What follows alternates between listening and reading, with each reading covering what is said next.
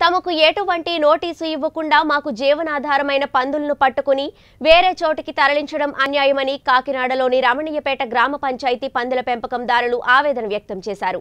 పందులు పెంచుకోవడానికి తమకు ప్రభుత్వం ఊరి చివరి స్థలం కేటాయించినట్లయితే తాము అక్కడే పెంచుకునే వారమని వాపోయారు. పట్టుకున్న పందుల విలువ సుమారు ఇరవై లక్షలు ఉంటుందని ప్రభుత్వం నష్టపరిహారం అందించాలన్నారు. గతంలో వీధుల్లో తిరిగే పందులను గన్తో కాల్చేసేవారని ఇప్పుడున్న బ్రతుకున్న పందులను వలవేసి పట్టుకుని వేరే వేరే చోటికి తరలించి అమ్ముకుంటున్నారని ఆరోపించారు.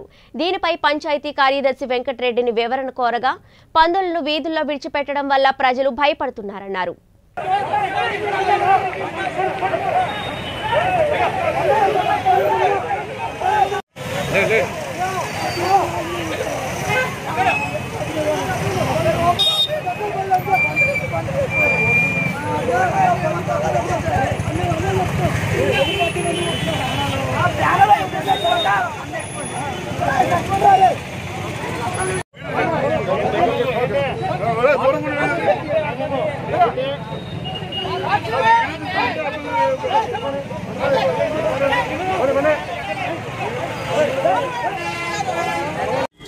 నా పేరు గాడగోవింద్.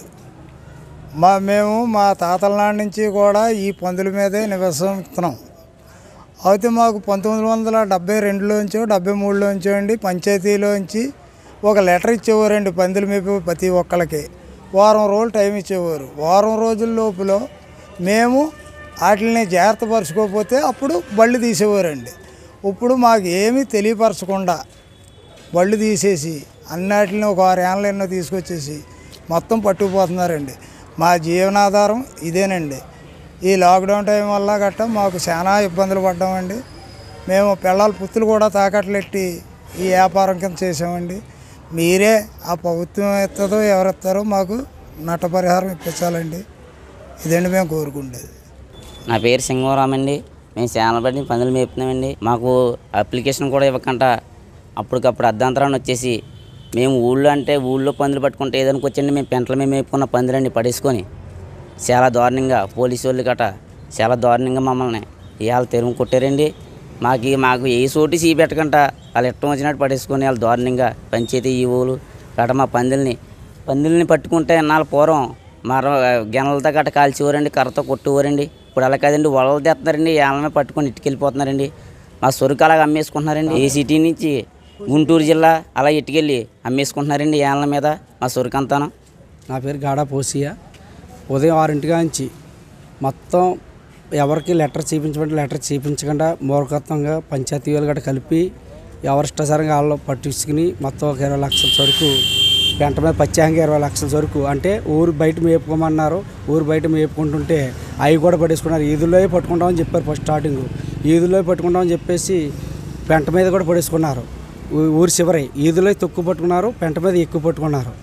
ఎవరితో ఎవరిని వెళ్తుంటే పోలీసు వాళ్ళు లాఠీలతో కొడతాం బెదిరింతాం ఇలా దగ్గర రాని బెదిరించడం చేస్తాం ఇలా చేశారు. రావణపేట గ్రామ పంచాయతీలో గత సంవత్సర కాలంగా పందులు ఎక్కువైపోయినాయని ప్రజల నుంచి విపరీతమైన పిటిషన్లు స్పందనలోను సెక్రటేరియట్కి పంచాయతీ ఆఫీసుల్లోనూ వివిధ గ్రామ సభల్లో అనేక ఫిర్యాదులు వచ్చిన పిదప పంచాయతీ కాకినాడ మున్సిపల్ కమిషనర్ గారి మీటింగ్ సూచనలను అనుసరించి మరియు పై అధికారుల ఆదేశాల అనుసారం పంచ మున్సిపల్ కమిషన్ గారు సప్లై చేసిన వాళ్ళు సేఫ్టీగా తీసుకెళ్ళి పందుల్ని వేరే చోట వదిలేసి సెక్యూరిటీ సిబ్బంది శిక్షకుల్ని మాకు వాళ్ళ వ్యాన్ల ద్వారా పంపించారు. వాళ్ళ ద్వారానే పందులు పట్టించి సేఫ్గా పందులు వేరే చోటకు తరలించినా కానీ ఈరోజు పందులను పట్టించామండి పందులను పట్టడం వాళ్ళ సేఫ్గా పందులకు ఏ విధమైన హాని జరగకుండా పట్టుకునే అందులో నైపుణ్యం గల వాళ్ళతోటే పందులను పట్టుకుని నైపుణ్యం గల వ్యక్తులతోటి పందులకు ఏ విధమైన హాని జరగకుండా